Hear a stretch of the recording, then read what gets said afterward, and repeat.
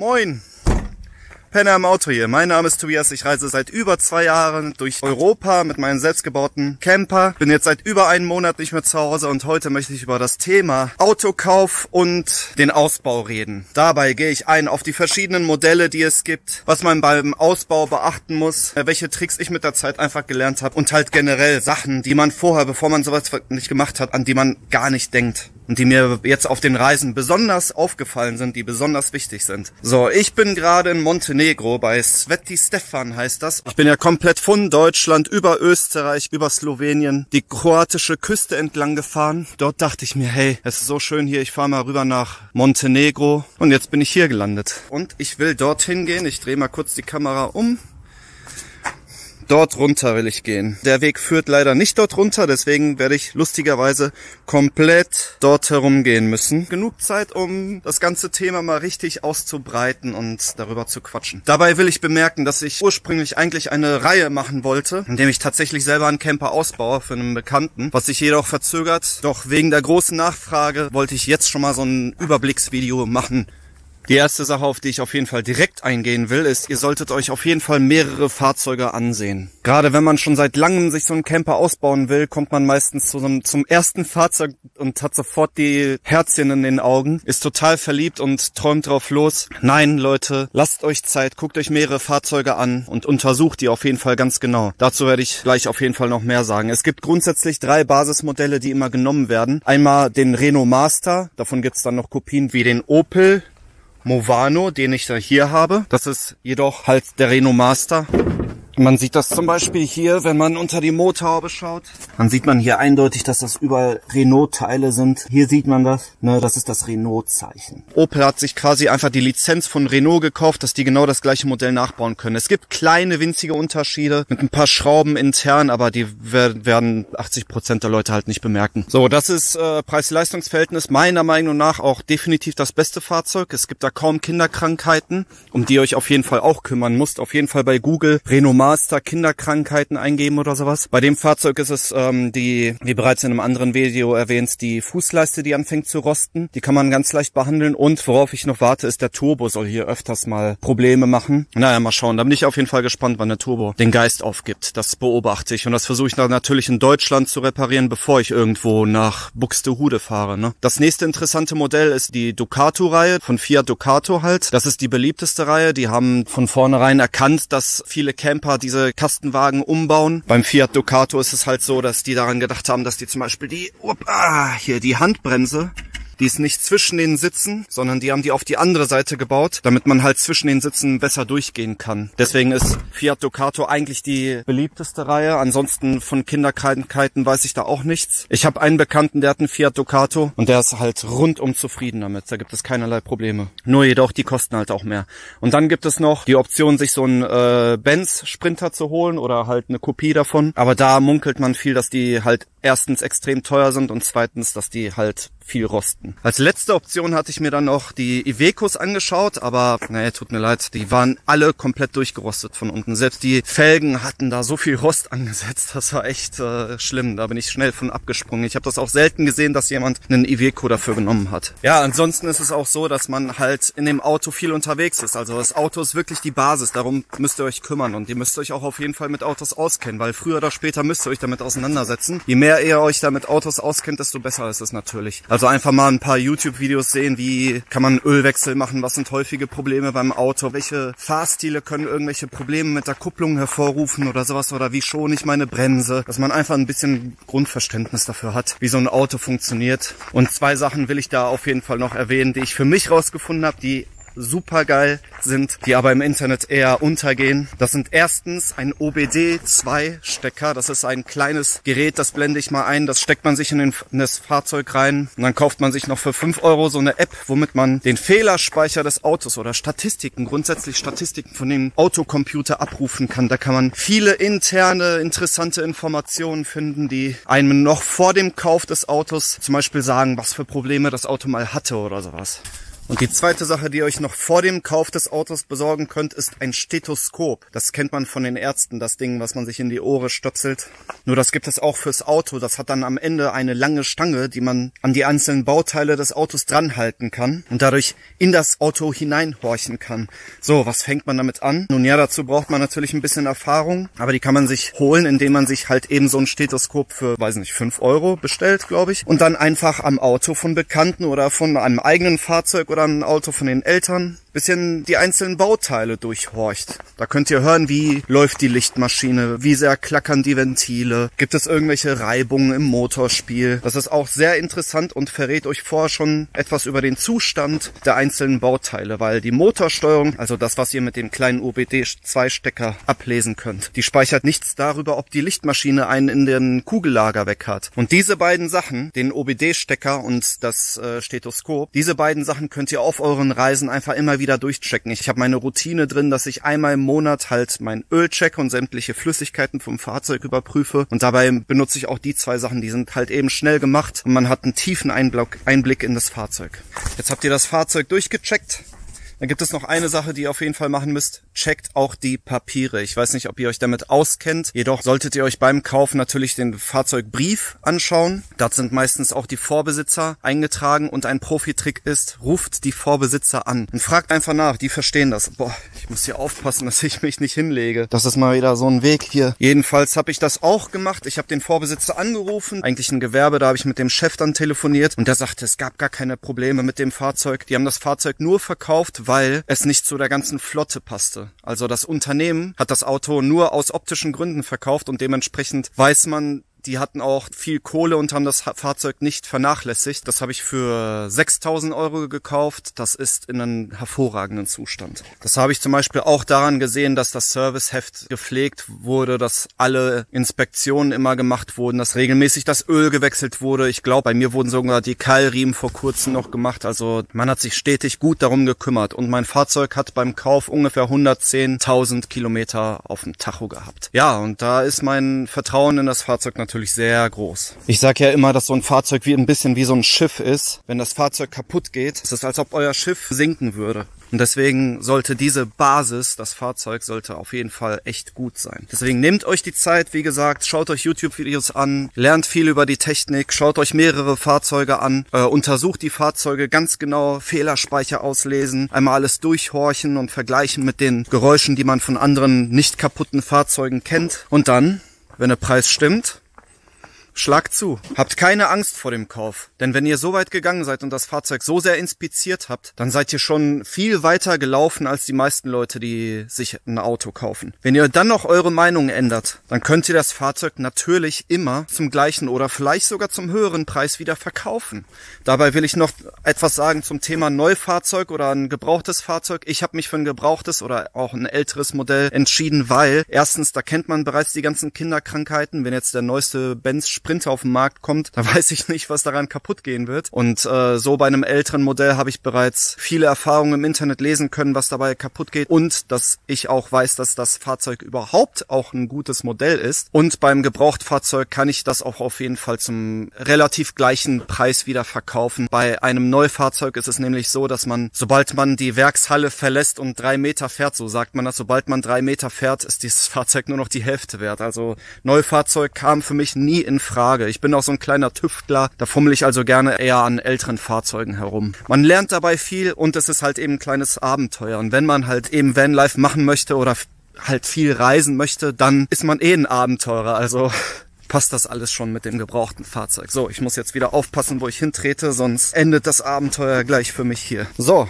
du hast dir dein Fahrzeug jetzt gekauft. Dann zuerst gratuliere ich dir vom Herzen gratuliere ich dir zu deinem neuen Fahrzeug. Das erste, was du machen sollst, also Fahrzeuganmeldung und sowas, darauf gehe ich jetzt nicht ein. Das erste, was du machen solltest, ist, das Fahrzeug komplett zu reinigen. Das ist die einzige Chance, wo du wirklich eine kerntiefe Reinigung vor, kerntiefe Reinigung vornehmen kannst, bevor du dir da alles reinbaust. Damit meine ich, wenn du eine Bodenplatte drin hast oder bereits Holz an den Wänden hast, wie es zum Beispiel oftmals von den äh, Fahrzeugen von den Schreinereien gibt, dann bau das alles raus und feg einmal komplett durch. Auch die Luft Luftkanäle in den Fahrzeugen selber. Seitlich habt ihr dicke, fette Streben, die das Fahrzeug stabilisieren. Da können Holzspäne drin sein. Mein Fahrzeug war von einer Schreinerei, das war voll mit Holzspänen und das muss alles raus. Also Dreck kann ja auch irgendwelchen Schimmel oder irgendwelche anderen Bakterien mit sich herumtragen. Deswegen solltet ihr das erstmal reinigen. Ich musste bei mir auch die Bodenplatte rausnehmen und einmal durchfegen, habe ein Foto von dem Boden gemacht, ohne diese Bodenplatte, um später einfach zu wissen, falls dort äh, es dort die Möglichkeit gibt, irgendwo Schrauben anzusetzen oder sonst irgendetwas, damit ich eine ein Foto halt eine Referenz dafür habe. Und auch diese ganzen Ecken wo die Hohlräume drin sind und sowas, die habe ich einfach mit so einem Staubsaugerschlauch einmal durchgesaugt, um einfach alles rauszubekommen, was da drin ist. Bei diesen Hohlräumen könnte es auch sein, dass dort halt äh, vom Vorbesitzer Holz drin ist und die Luftfeuchtigkeit sich da festsetzt und das dann an den Stellen halt eben auch schnell rosten könnte. Macht am Anfang die komplette Karre sauber.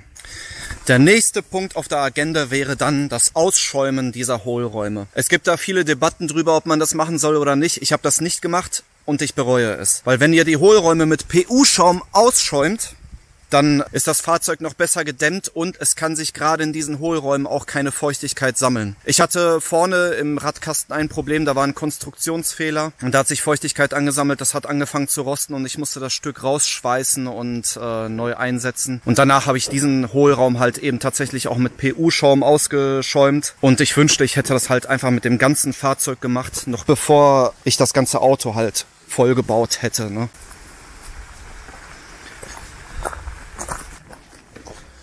Hallo.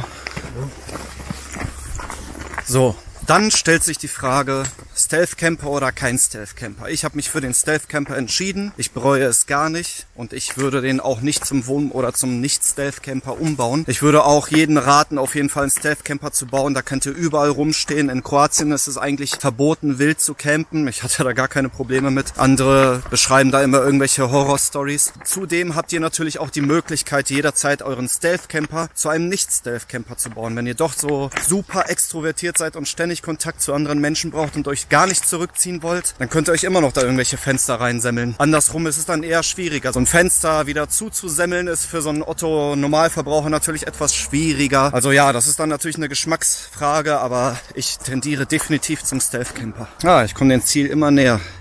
So, kommen wir zur nächsten Sache. Das nächste ist fast immer Alubutyl- oder Bitumenplatten. Das sind Platten, die verhindern, dass die Akustik von außen so sehr nach innen dringt. Oder eher gesagt, die verhindern, dass die Bleche im Auto so viel mitvibrieren. Das wird gemacht noch bevor ihr dort Armaflex oder die Isolationsmatten reinpackt, die halt für die Temperatur zuständig sind. Ich empfehle das dringend, wie auch in einem anderen Video bereits erwähnt, weil ihr halt eben auch nicht wisst, ob ihr nicht mal an der Straße, ja gut, ihr wisst, ihr werdet definitiv irgendwann an der Straße pennen müssen, also direkt neben einer Straße.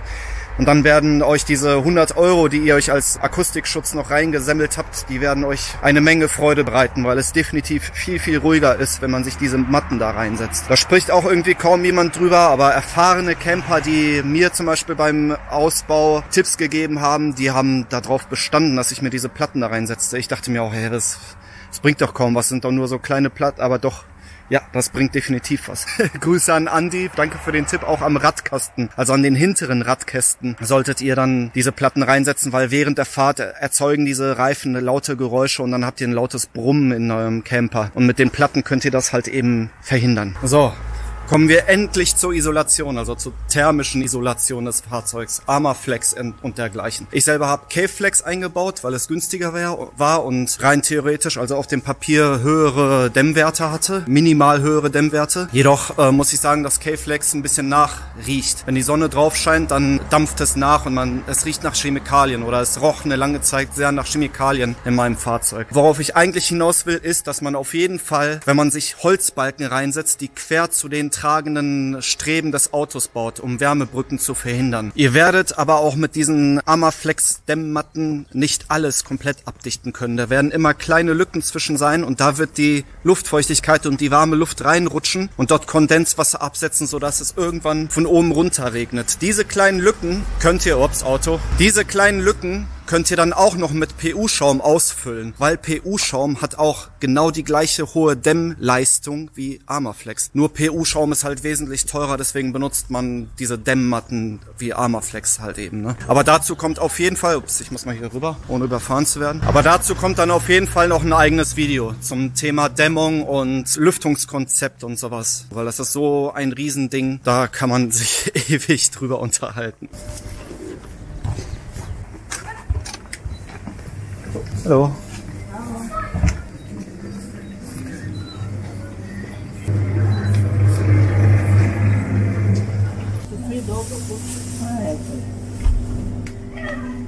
Viu? Ai, que perguntar, eu mando. Vou ver de momento. Passa.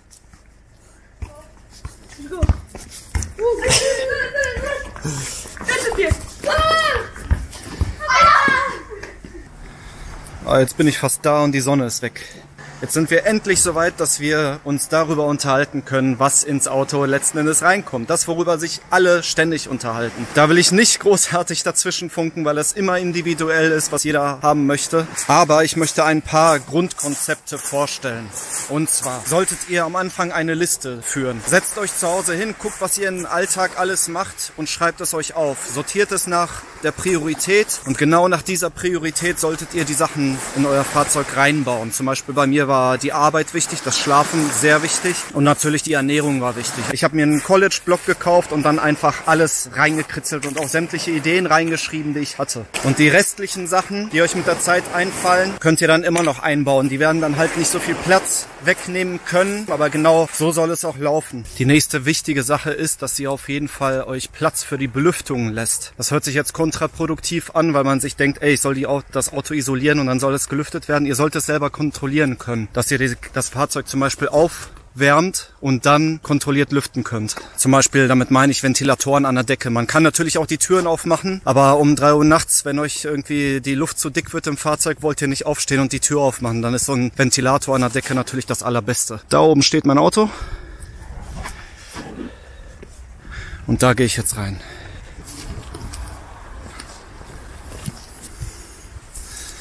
Oh, ich ahne Schlimmes. Die Sonne ist weg und Sveti Stefan hat zu. Ja, das ist auch äh, halt Nebensaison, ne? Naja. Mal schauen, dafür kann ich vielleicht mit der Drohne reinfliegen.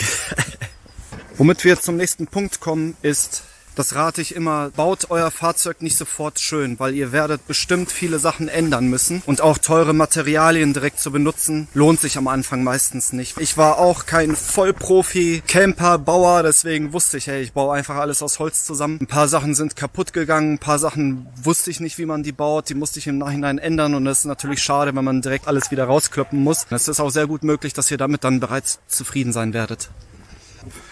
So, da von den Bergen überall jetzt die Wolken rübergeschwappt kommen wie so eine Wasserwelle, habe ich mich dazu entschlossen, wieder wegzugehen. Konnte ja eh nicht reingehen. Da wir gerade beim Thema erstmal billig aufbauen sind, kann ich direkt weitergehen. Dazu, dass es sich für mich gelohnt hat, nicht alles direkt zuzumachen. Ich meine, das geht Hand in Hand mit Schönmachen. Ich habe ja bei mir alles relativ offen gelassen, dadurch habe ich einen leichten Zugriff zu möglichen Sachen. Ich hatte zum Beispiel einmal den Vorfall, da ist mir mein äh, Dieseltank von der Heizung ausgelaufen. Und da war es natürlich das Beste, dass ich nicht die ganze Karre zerlegen musste, um überall den Boden abzuwischen. Oder ihr wollt noch irgendwelche Kabel irgendwo hinziehen. Da ist es dann natürlich besser, wenn das Auto nicht komplett abgeschottet ist. Und auch nicht nur diese Änderungen, die ihr noch im Nachhinein vornehmen wollt, sind wichtig, sondern es kann auch zum Beispiel sein, dass ihr irgendwo eine falsche Schraube benutzt habt, das ist mir auch passiert, die nicht für den Zweck eigentlich gedacht ist und die sich mit der Zeit gelöst hat. Und das ist natürlich der absolute Horror, wenn ihr den ganzen Schrank abbauen müsst, um an, eine, an irgendeine Schraube ranzukommen. Lasst euer Auto erstmal halb offen.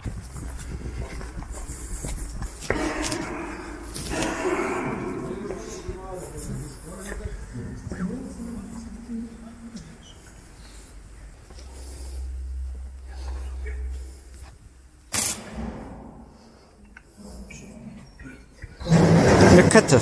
So. Ich will euch nicht bei eurer Gestaltung zu sehr einschränken. Wie gesagt, das ist halt individuell. Jedoch gibt es eine Sache, die bei fast allen Campern gleich ist. Die Küche sollte bei der Schiebetür sein, sodass ihr die Luftfeuchtigkeit schnell rauslassen könnt. Na gut, ihr habt das Short-Video vielleicht gesehen. Ihr benutzt dann wahrscheinlich eh einen Schnellkochtopf, aber dennoch könnt ihr schnell die Luftfeuchtigkeit rauslassen und den Dreck rauslassen. Wenn ihr euch frisches, knackiges Brot holt und es dann anschneidet, krümelt das ohne Ende und dann könnt ihr es einfach direkt aus der Schiebetür rausschieben. Das könnt ihr euch definitiv hinter die Ohren schreiben. Das wird sich kaum ändern. Das ist mein Auto. Oh, ich bin durchgeschwitzt. Er hat wieder Klamotten waschen müssen. Aber dazu kommt dann übrigens auch ein eigenes Video.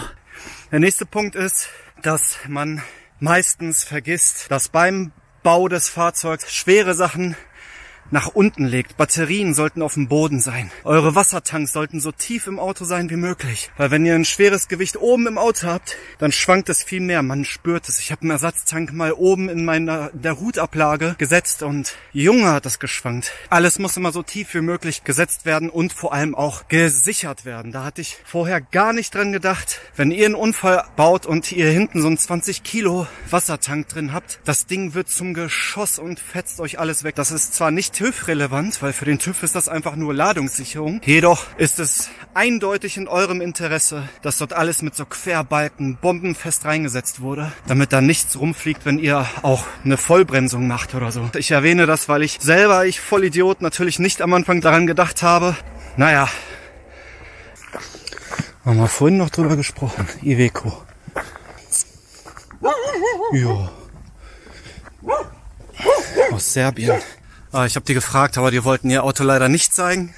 Was auch okay ist, wie gesagt, so ein Auto, deswegen habe ich an Stealth Camper, so ein Auto ist ein Rückzugsort. Man will nicht unbedingt seine Toilette und sein Schlafzimmer gleich sofort auf YouTube zeigen, ne? Bist du denn?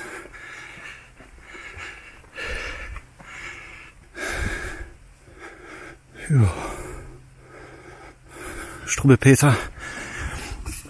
Ich dachte, ich hätte jetzt bei den Serben meinen letzten Punkt aufzeigen können. Und zwar solltet ihr von vornherein platzsparende Mechaniken benutzen. Ich meine, es ist sowieso Klar, dass man alles so verschachtelt wie möglich einbaut, um Platz rauszuholen, aber es gibt noch Tricks wie zum Beispiel Tische, die man aus rauszieht. Einfach so Holzplatten, die man aus dem Schrank herauszieht, um diesen dann als Tisch zu benutzen. Davon solltet ihr so viel wie möglich einbauen, von vornherein. Und noch eine Sache, die ich sonst nirgendwo gesehen habe, das habe ich bei meinem Bruder gesehen in Bayern. Der hat einen Tisch, den er aus dem Küchenschrank rausziehen kann, der bereits Füße hat. Und das habe ich mir als Bank in mein Auto reingebaut und das ist genial. Das nimmt quasi keinen Platz weg, aber man hat viel mehr Sitzmöglichkeiten. Wenn ich jemals dein Auto sehe und du hast sowas nicht eingebaut, ne, dann hau ich dir auf die Finger, weil davon kannst du nicht genug haben.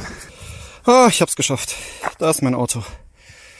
Und noch als letzten Tipp, ich glaube, ich habe vorhin schon letzter Tipp gesagt, aber als letzten Tipp will ich noch mitgeben, ab und zu während des Bauens jemand anderen reinkommen lassen und euch von ihnen inspirieren lassen, weil andere Leute sehen die Sachen anders und die haben manchmal Ideen, an die ihr gar nicht denkt. Ich nenne das einfach Betriebsblindheit. Ich habe meine eigenen Träume und baue sie dann da rein und denke zum Beispiel gar nicht daran, dass möglicherweise mein Wassertank einfrieren könnte oder sowas. Hat mir ein anderer Kumpel gesagt, aber leider zu spät. Siehe da, mein Wassertank friert ein, wenn ich bei minus 10 Grad in Österreich unterwegs bin. Also lasst ab und zu während des Baus noch andere Leute reinkommen, die nichts damit zu tun haben und sagt denen, ey, ich baue hier seit einer Woche, ich habe Betriebsblindheit, Sag mir deine Meinung. Sag mir irgendetwas, was ich nicht weiß, was du ändern würdest. Bei mir im Fahrzeug war es hauptsächlich die Breite der Toilette. Grüße an Marc, der hat äh, gesagt, die Toilette ist ihm nicht breit genug. Da habe ich auch tatsächlich drüber nachgedacht, das noch umzubauen, aber wie gesagt, ich reise eh zu 90 Prozent der Zeit alleine und das wäre ein Riesenaufwand, alles auszubauen und die, nur um die Toilette breiter zu machen. Wobei der Eimer auch eh nicht größer werden würde, weil ich es mag, dass ich nur so kleine 10, 20 Liter Säcke da drin habe, weil die gut in die öffentlichen Mülleimer reinpassen. Kleiner Tipp. Also habe ich das fallen lassen.